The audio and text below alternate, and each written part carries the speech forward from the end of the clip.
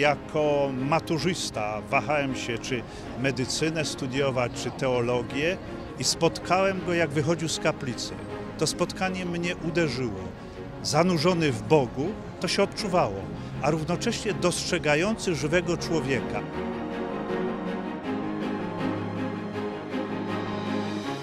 Jan Paweł jest e, wyjątkową postacią w naszej rodzinie. Dzięki niemu tutaj ten oto chłopiec, Jasiu, e, no dzięki niemu jest tak naprawdę. W 2008 roku straciliśmy dzieciątko i potem długo się modliliśmy właśnie o kolejne.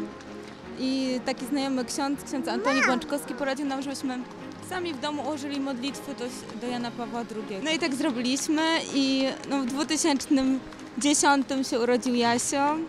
A potem też długo się modliliśmy, urodziła się Marysia w 2012, więc nie mogło nas tutaj nie być.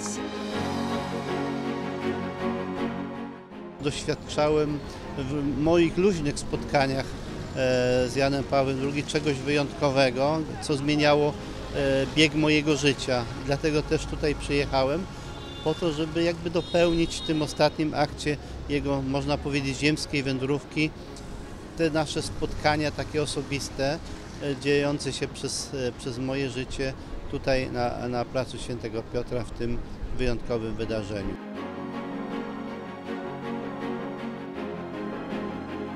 Ja jako ojciec byłem bardzo przerażony tym, że mieliśmy przyjechać tu z dwójką dzieci w ten wielki tłum, no ale żona powiedziała, że no nie może nas tu zabraknąć, kiedy on ma zostać świętym. Dotykaliśmy świętego, słuchaliśmy świętego. Wczoraj, jak wracaliśmy z bazyliki, to ksiądz prawa Doder, miałem okazję go spotkać, powiedział, że Jan Paweł II będzie nas jeszcze zaskakiwał.